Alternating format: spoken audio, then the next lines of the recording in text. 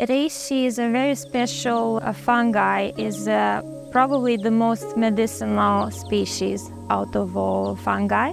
It's been used for thousands of years in Asia and uh, ancient China and Japan. It was called the mushroom of immortality because of this very strong medicinal properties. Regeneration, it boosts your immune system, so it makes you stronger and more resistant.